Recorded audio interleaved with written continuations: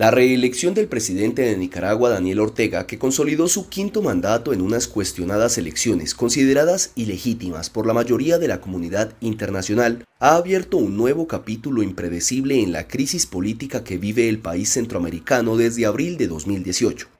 Consumada la reelección de Ortega en el poder desde 2007, la situación en Nicaragua constituye una prueba para la comunidad internacional, según Michael Shifter, presidente del Centro de Estudios de Diálogo Interamericano con sede en Washington. Para el experto, este es un tema fundamental para la agenda de la Asamblea General de la Organización de Estados Americanos OEA, organismo que describió como un espejo de la fuerte polarización que vive la región. El secretario general de la OEA, Luis Almagro, rechazó los resultados de las elecciones ilegítimas en Nicaragua y pidió a los países miembros que respondan a esta clara violación de la Carta Democrática durante la Asamblea General que inician mañana con Guatemala como país anfitrión.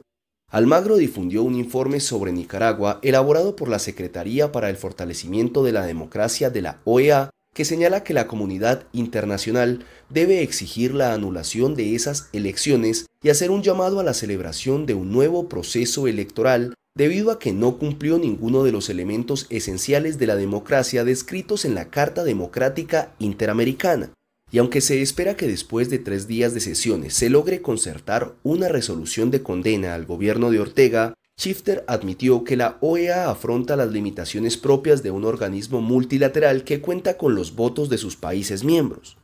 De allí que señaló la necesidad de que Estados Unidos tome la batuta para coordinar con la Unión Europea y otros de sus socios las acciones hacia Managua, a fin de evitar que el ejemplo de Ortega y su esposa y vicepresidenta Rosario Murillo sea emulado por otros países de la región.